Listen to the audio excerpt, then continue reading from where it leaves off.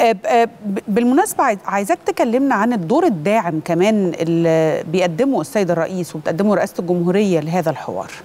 شوف حضرتك هو رئيس الجمهورية الحقيقة مش دعم الحوار. هو الفكرة ن- نشأت من هذه المبادرة. وعشان برضه نبقى صرحاء أي دعوة لحوار من هذا النوع بهذا المستوى بهذا الحضور بهذه ال- الأسقف غير موجودة ما كانش حد يقدر يجيله غير رئيس الجمهورية. خالص. ممكن يكون كلنا كان عندنا رغبات أو نفسنا أو غيره ايا كان مستوانا. لكن إنه رئيس الجمهورية يقول أنا بدعو لحوار وطني شامل حول اولويات العمل الوطني في المرحلة الراهنه وبدعو كل القوى دي ويقول ملحقا بها إن أنا ش... إن إحنا هذا الإصلاح السياسي تأخر أو يعني ما كان ما جاش في ميعاده. هذا أمر الحقيقة كان إشارة البدء ل... لشيء حصل أنا بشهد قدام ربنا إنه ما في حد قال إيه يتناقش أو ما يتناقش. وبرضه بمناسبة الاعلاميه عشان نوضح حاجات لأن هم ده قالوه في الأول الحوار قبل ما يبدأ وساعات يعني يتكلموا فيه. هم بيتكلموا على إن في ثلاث قضايا إحنا قلنا إنه هم مش هيتناقشوا في الحوار. وأنا هقول لهم مين اللي قال؟ اولا وهذا أمر يعني بيني وبين ربنا مش هقسم على هواء على حاجة. ما في حد قال إيه اللي يتناقش ويتناقش مجلس الأمناء قعدنا في أول اجتماع لينا ومجلس الامناء ده في حينه كان 21 شخص. بيمثلوا رضاء تام بين كل الفرقاء السياسيين في مصر. وكلهم وافقوا على اللي هقوله. مش مش من حد. واحد إن إحنا قلنا إحنا لن نقترب من الدستور. دستور البلد موجود. ومقر باستفتائين عامين. الدستور يا جماعة عشان يبقى دستور لازم يعني عملية طويلة لكن تنتهي بإيه؟ باستفتاء عام. نعم. يعني الشعب مش إحنا. وبالتالي قلنا الدستور هو الحكم لأن هو قاعدة الشرعية فمش نقرب منه. طبعا النهارده ده احد الحاجات اللي بتتقال لو إحنا تخيلي بقى لو قلنا لا ده إحنا هنحاول نخت... نقترح تعديلات في الدستور. كان ذهبت الأفكار إياها إلى اي حتة حضرتك تتخيليها. إنما إحنا قلنا لا الدستور له طريق للتعديل مش منه الحوار الوطني. الدستور يعدل حسب الدستور نفسه بطريقة معينة بيقوم فيها مجلس النواب أو رئيس الجمهورية والاستفتاء الشعبي. وبالتالي مفيش مجال أصلا تنظيمي أو دستوري لتغيير الدستور غير الطريقة دي. ناهيك عن السياسي. إحنا مش هنحط آه، آه، آه، الحوار الوطني في موضع إنه الذي يعني بي- بيحاول يغير الدستور لأي أسباب. ما نملكش هذا اولا ومش هنعمل ده.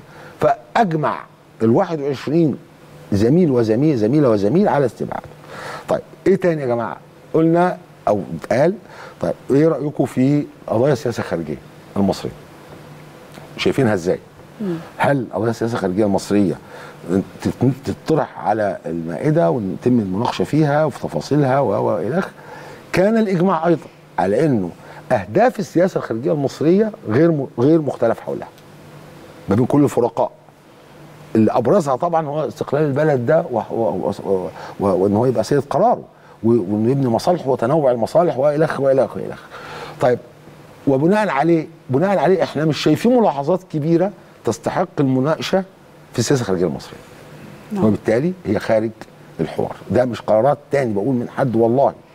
طب القضية الثالثه إيه؟ الأمن القومي الاستراتيجي المصري. بالمعنى شبه العسكري. إحنا مش هنعمل مش هنعمل مش هنعمل زي يعني اللي عملوا أيام سد النهضة وقعدوا يتناقشوا على الهواء يعني ما ينفعش إنه نقعد نناقش شؤون استراتيجيه والأمم ما بتعملش ده. حتى في الولايات المتحدة الأمريكية بالمناسبة عشان الناس تبقى فاهمة. لما بيبقى في جلسة استماع. تتعلق بحاجة استراتيجية. أمن قومي. أمن قومي بتبقى مغلقة. طبعا. مغلقة تماما. محدش بيحضرها ولا تبقى جلسة الإعلام. مغلقة أو جلسة يعني غير مذاعة. وغير مذاعة ولا حتى منشور طبعاً. عنها. وبالتالي أجمع ال 21 شخص وأنا بقول للإخوان أنتوا عارفين أسمائهم. عايزكم بقى تشتموهم. قربوا بقى. أو عارفين الأسماء موجودة. أقول الصور موجودة. لو حد من دول أنتوا شايفين إن هو يعني خان الأمانة وهو اللي تواطأ معه عشان يطلع لا أنا بقول لكم الإجماع وده صدر عن مجلس الامناء طيب إيه ال ال ال ال الشيء اللي بعده؟ اللي برضه هم وقلناه هنا قبل كده وبنقوله تاني وبنأكد عليه. يقول لك لا طب إزاي حوار وطني يا جماعة وأنتوا القوى المعارضة زي الإخوان ما ما ما ما, ما يشاركوش. يا سيدي الإخوان مصنفين قضائيا كجماعة إرهابية. مفيش دول بتتفاوض وتتحاور وتعمل الحوار الوطني مع إرهابي ده من حيث المبدأ. وتاني بقول الذي بدأ وأعلن وجاهر وعمل ده في بيانه بأنه يستبعد الإخوان من الحوار الوطني قبل اجتماع مجلس الأمناء كان اشقائنا واصدقائنا في الحركة المدنية المصرية. بيانهم كان كده. استبعاد من تلوث التداول بالدم وخصصوا قال وجماعة الإخوان قبل ما نقعد في مجلس الأمناء بيان موجود. اللي عايز يشوفه كان أظن يوم 4 3 يوليو حاجة كده. طيب وقلنا أضفنا إليهم شيء طبيعي تاني. مش بس الإخوان المصنفين ارهابيا أي شخص ارتكب عنفا أو شارك فيه أو حرض عليه وأراق دم. طيب ده ده يا ترى كلامنا أو كلام حتى مجلس الأمناء. ده ده كلام قانون العقوبات. القاتل أو المحرض أو الشريك مكانه في السجن يعني مش مكانه بالتأكيد على مائدة حقوق. ده قانون مش إحنا خالص. طيب إيه الشيء الأخير اللي برضه مجلس الامناء أجمع عليه؟ طب إذا كان إحنا قلنا مش هنقرب من الدستور طب اللي رافض الدستور يشترك في الحوار يعمل إيه؟ الدستور هو عبارة عن إيه؟ دستور أي دولة. هو أساس شرعيتها. يعني هل نتخيل مثلا في دولة زي فرنسا أو دولة زي أمريكا اللي هم فيهم دساتير يعني أو أو إيطاليا إنجلترا ما فيهاش ودول أخرى ما فيهاش هل إنه يجي يقول أنا مش موافق على دستور الجمهورية الخامسة دي في فرنسا وأنا بدعو إلى فرنسا الملكية ترجع هي زي ما كان لويس السادس ده عشر انقلاب دستور. وماري أنطوانيت؟ يا عم ما ما تلزمناش روح اعملها أنت كمل حلمك في بيتك.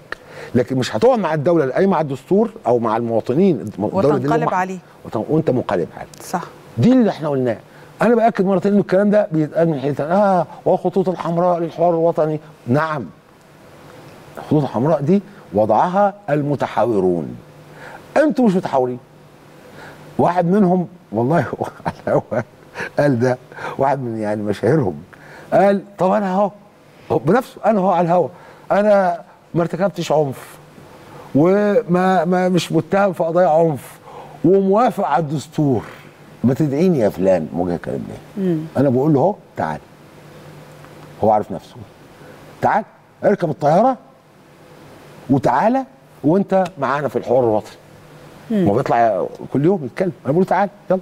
أنا بقول لك ما دام أنت شايف إنه ده متطابق عليك وشايف إنه ما فيش ملاحقة قضائية ليك في مصر وموافق على الدستور أنا بس خايف كلمة موافق على الدستور دي تزعل اللي أنت تشتغل عنده. وتزعل التاني اللي قاعد جنبك. هم ما خدوش بالهم بس أنا خدت بالي. فأنا بقول لك اتفضل. حضرتك بتضعه دلوقتي في موقف حرج للغاية. اتفضل. لأنه لأنه إذا ده حصل بالفعل يبقى هو في المكان الغلط من الأساس. يعني يعني مظبوط. يبقى هو بيعمل إيه معاهم؟ مظبوط. إذا كان لك- هو موافق على الدستور وإذا كان هو ضد العنف يبقى ماذا يفعل مع هذه الجماعة الإرهابية وفي قنواتها؟ أهلا بك. بس ارجوك تعلن ده أو بلاش تعلنه. تعالى مستخبي عشان ما تزعلش اللي أنت شغال معاه أو المجموعه اللي أنتوا يعني شغالين مع بعض. وتعالى وح... وأنا شخصيا لو قابلتني قبلها هستقبلك مطار القاهره كل المطلوب بس الناس يبقى لها موقف حقيقي. صحيح. آه طيب يعني 113 آه قضية تقريبا آه بيتم آه مناقشتها خلال الحوار الوطني. إزاي بتحددوا الأولويات يا أستاذ ضياء؟ لا بص حضرتك هو ال ال إحنا عندنا طبعا السادة مقرري العموم اللجان ومقررين العموم المساعدين معاهم. كل واحد عنده في محوره آه، عدد من اللجان. المحور ال- ال- السياسي خمسة المجتمعي ستة الاقتصادي ثمانيه هم بيقعدوا مع بعض وإحنا حضرتك دي الآلية بتتم. إحنا عندنا مجموعات جروب آه، على ال- على الواتساب لكل آه، محور وللسادة مقررين العموم وإحنا معاهم. فطول الوقت بنتداول معاهم ومجلس الأمناء آه، لا يفعل إلا إن هو في الآخر يشوف الاتجاه الس- مثلا المحور الاقتصادي إيه قضية القضيتين أو الثلاثه اللي هيناقشهم الأسبوع اللي جاي ويعمل بينهم توازن ما بين الأقل يعني في حاجات بتبقى مهمة قوي وفي حاجات الناس يعني بتسميها أقل. فبيبقى جزء من مش ما يحطش كل الحاجات المهمة اللي الناس هتحضر يعني عايزة تحضر. فده بيراعى. لكن القرار الرئيسي بيبقى للمقررين عموم المحاور ومساعديهم ومقررين عموم اللجان ومعاهم مجلس الأمناء وده كل مرة الحقيقة ما اختلفناش ولا مرة. 50 جلسة تم حتى اللحظة لم يحدث اختلاف واحد. وإن شاء الله هنكمل بدون برضو آه، اختلاف بل بتوافق يعني. بإذن الله. يعني هل اتضح احتمالية وجود سقف آه، للمدة الزمنية للحوار ولا إلى الآن آه، يعني لا والله- يوجد هناك مدة والله زمنية؟ بصرحك لا. لأن إحنا آه، سقفنا هو آه، انهاء الغالبية الساحقه لم يكن كل الموضوعات. إحنا جرينا. مش جرينا بمعنى يعني آه، آه، آه، سلقنا ال- أو يعني آه، كروتنا الشغل. لا لا لا. جرينا بمعنى إنه كان في شغل في جلسات كانت بتستمر بالخمس ساعات. فعملنا عدد كبير على فكرة من القضايا وفي لجان أغلقت. يعني في لجان خلصت خلصت قفلت. يعني يعني مثال أدي حضرتك مثلا مباشر لجنه مباشرة حقوق السياسيه وتمثيل النيابي خلاص ما عندهاش قضايا ثانية خلصت شغلها كله خلص. آه، آه، آه، لجنة ال- ال- ال- المحليات خلصت. في في لجنة الأحزاب السياسية خلصت. واضح حضرتك أنا ده ثلاثة في المحور السياسي من خمس لجان. في المحاور الاقتصادية والاجتماعية المجت- والمجتمعي والمجتمعي كذلك. فبالتالي إحنا هنخلص إمتى؟ هو زي ما بيقولوا كده يعني إيه؟ هنخلص إمتى الشغلانة اللي في إيدينا؟ آه. تخلص إمتى بقى آه، ده وراهن بصبرنا مش إحنا كمان كمجلس صبرنا إحنا المتحورين. كمشاركين في الحوار. مشاركين وإصرارنا إن إحنا آه، يعني ننجز مهمتنا وأنا رأيي إن إحنا يعني مش بعيد قوي عن آه، يعني النهاية.